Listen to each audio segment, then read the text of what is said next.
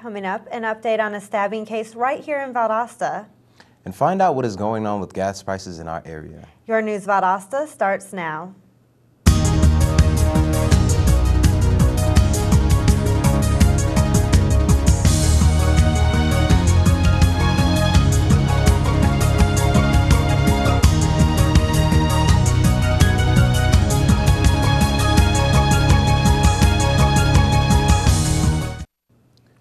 Welcome to News Valdosta. I'm Mikhail Keys. And I'm Lindsay Shaw. A verbal dispute led to the stabbing of a Valdosta man in front of his children this past Sunday. The Valdosta police were able to obtain information from witnesses and make an arrest. 42-year-old Delvis Dozer is in custody at the Lowndes County Jail and is charged with aggravated assault, possession of a knife during a commission of a crime, and with five counts of cruelty to children in the first degree. The victim was transported to a local hospital and is in stable condition. A Valdosta man has been indicted for a vehicle homicide in 2015 that killed two in Lowndes County. Jeremy Matt Carter was allegedly driving under the influence when the incident occurred. The Supreme Court of Lowndes County has charged him with homicide in the first degree, driving under the influence, reckless driving, open container, and driving with a suspended license. Carter was driving a Ford F-150 when he attempted to overtake a school bus. His truck collided with the Ford Mustang, and the driver Logan Shelley and passenger Kylie Neville both died at the accident. 26-year-old Thaddeus Marquise Robinson of Sanford, Florida, was taken into custody yesterday after leading police on a high-speed chase through South Georgia. At around 1 p.m., a Georgia State Patrol trooper clocked Robinson traveling at a speed of 75 miles per hour in a 55 miles per hour zone. The trooper pursued Robinson on Highway 135, reaching speeds up to 120 miles per hour. Eventually, the chase led to Highway 84 towards Valdosta, where the suspect crashed into a ditch. Robinson faces charges including driving on a suspended license and attempting to elude law enforcement. No injuries were reported at this time. We're going to take a short break, but when we come back, find out about what Red Cross is doing to help those in need. And later, we'll tell you about a new app for VSU students. Stay with us.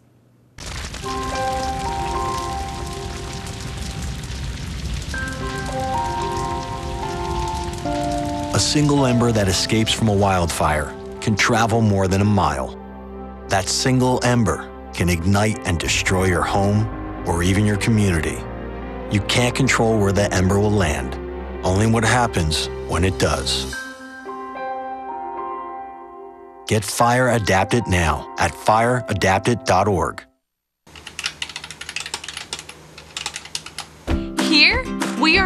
community of 11,000 individual stories. A place where all doors are open. Your home away from home. Where you will make lifelong connections. And you will never feel invisible.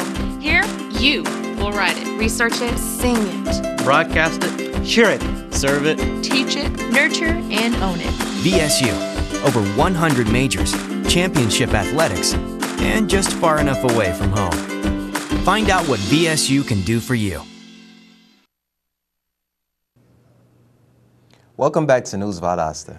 The American Red Cross will host Giving Day on April 21st. The one-day event supports the Red Cross by accepting donations to help families who have been affected by disasters or emergencies. Each year, the Red Cross responds to over 66,000 disasters nationwide where families have lost everything. Over 2,500 of those disasters are, Georgia, are, in Georgia annually. For more information on Giving Day or how you can donate now, visit the Red Cross website. Locally, gas prices have jumped up 14 cents in only a week. The prices have stabilized, but they are still some of the highest we've seen this year. I got a chance to gather information about the price at the pumps. Not too long ago, gas prices were surprisingly low. Now, they have slowly but surely went back up to their usual prices. According to AAA's Daily Gauge Fuel Report, gas prices jumped 14 cents in one week. Um, gas prices go up in the summertime all the time. I think it's just something that we're used to. I don't really understand why they go up in the summer, but they do. And we just have to pay more for gas or we have to walk. My car only takes $26, so regardless, I'm pretty happy. I drive a four cylinder. I don't really pay too much attention to the gas prices because I know that I have to pay for gas. The average of price of gas in Lowndes County is $2. The increase is caused by the high demand of gas during the season, especially since the summer is coming. With families going on road trips, the gas prices may continue to rise. Gas prices are rising for the summer season. For News Valdosta, my name is Mikhail Keys. Recently, Lowndes County banned the sale of pets in local parking lots, and now many rescue organizations are asking the city of Valdosta to do the same. With the current setup, the county can issue citations to people selling the pets in parking lots unless it is within the city limits. However, rescue organizations argue that it will still be too easy for breeders to just move to a different area within the city. The city is reviewing the county ordinance and will decide if they will change their laws in the future. The Hartsfield-Jackson Atlanta International Airport has been named the busiest airport in the world. If you thought the security lines were already long, do not expect that to change anytime soon. The Atlanta airport welcomed more than 100 million passengers in 2015, making it the first and only airport to ever serve 100 million over the course of a year. Following the Atlanta airport for busiest is Beijing, China, with 90 million passengers. We're going to take a break, but when we come back, we'll get today's weather report from Morgan B. Matthews. And later on, we'll update you on recent wins from VSU Sports, so stay with us. NFC, AFC, offensive linemen, defensive tackles, quarterbacks, and cornerbacks are all working with United Way for a million little reasons. The kids of our communities. To ensure their academic success all the way to graduation day. You see, it takes about 12 years to create a graduate, but it takes the same time to create a dropout.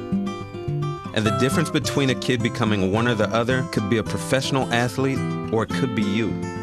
Studies showed the earlier we get to kids, the better their chances. So become a United Way volunteer reader, tutor, or mentor, and make a difference in the life of a child, for the life of that child. Give. Advocate. Volunteer. Live united. Join your favorite NFL players. Take the pledge. Go to unitedway.org. So, I got this new family, and I don't know what it is about this one, but she can't seem to put down that toy all day long.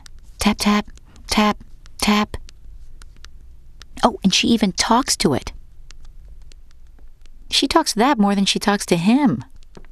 What's up, bro? Nice shirt. Who's she talking to? Her mom? She talks to her mom a lot. Welcome back to News Valdosta. Now let's take a look at the weather forecast with Morgan B. Matthews. What should we expect, Morgan? Thanks, Lindsay. Well, happy Tuesday, South Georgia, and what a sunshiny day we've had thus far. With the high being 76 degrees and clear blue skies, there is no chance at all of rain, so the boots and coats can stay just where they are.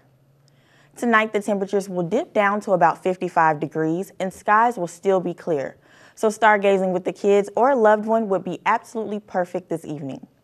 Tomorrow's weather will be just as great as today, with the high being a mostly sunny 76 degrees with a 0% chance of rain. The UV index today is a 7 out of 10 on the UV point scale, which is high and needs to be taken into consideration for needed skin protection. Sunblock is recommended, and with the UV index so high, it increases the chance of the sun damaging your skin, so don't plan to be outside for an extended period of time. The pollen count today is a 10 on a 12 point scale. The top three pollens are oak, birch, and sweet gum. Being that the pollen is so high, those with allergies should definitely take allergy medicine or use a nasal spray before heading out. But the weather is looking superb for the next couple of days. Being that it is spring, the rain can and will creep back into the forecast. So enjoy the sun while it's out. That's all the weather I have for today. Back to you guys at the news desk. Thanks, Morgan. When we come back, we'll take a look at what's going on in the sports world. So stay with us.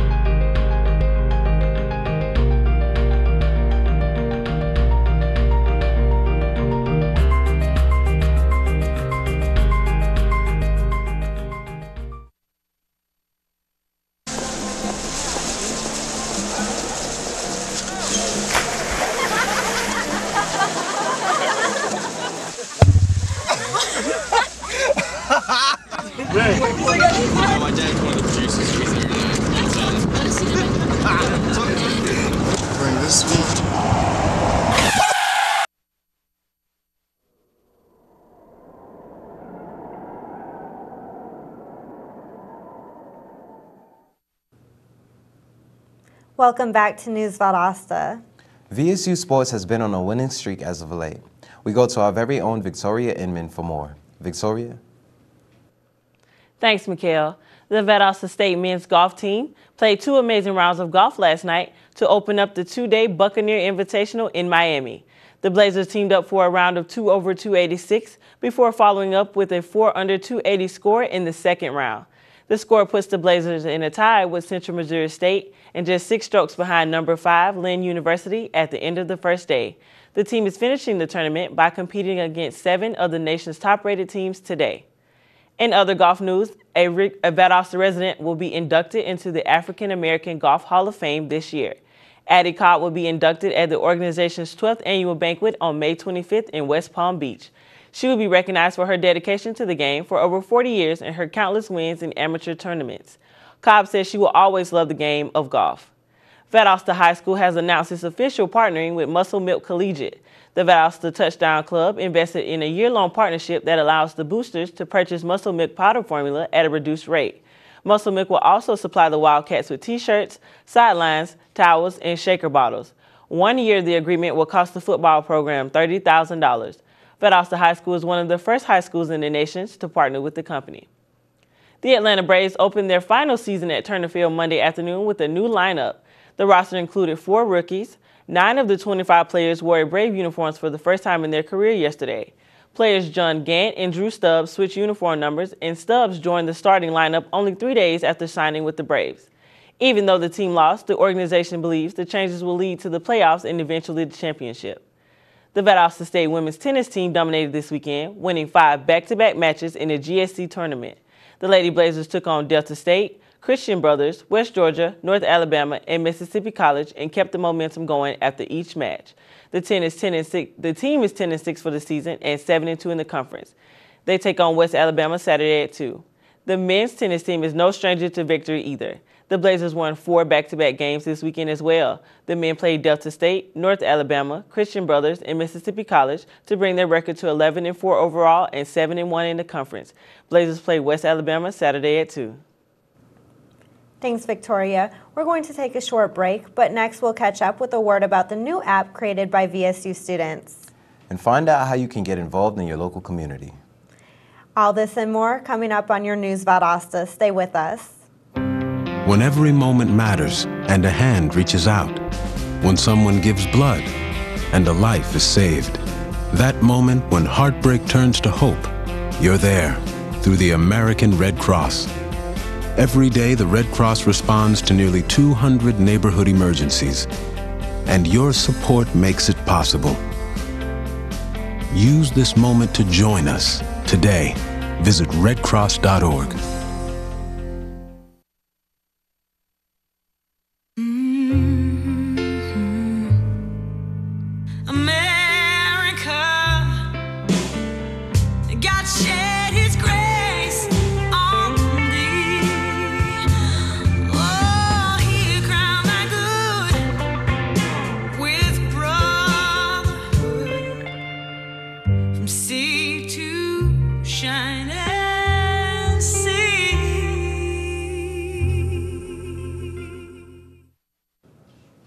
back with the news about Valdosta. The VSU Theater and Dance Program is performing Oklahoma for the next two nights. Oklahoma is set in a western Indian territory in 1906 and tells the story of cowboy Curly McLain and his love for the farm girl Laurey Williams. The shows start at 7.30 each night and is presented at the Sawyer Theater stage. Tickets may be reserved by calling the VSU Theater and Dance box office. VSU successfully completed its first color dash last weekend. I had the chance to catch up with the supporters this past Saturday. Saturday marked VSU's first ever Blaze the Trail Color Dash. The event was a 5K run to promote physical fitness and wellness as well as to raise money for autism. Um, the run itself was like a really cool experience. Uh, it was something that was different that I never really tried before. But uh, you know, usually I'll run throughout the week or something like that. But this is different. I never run ran this long and this far.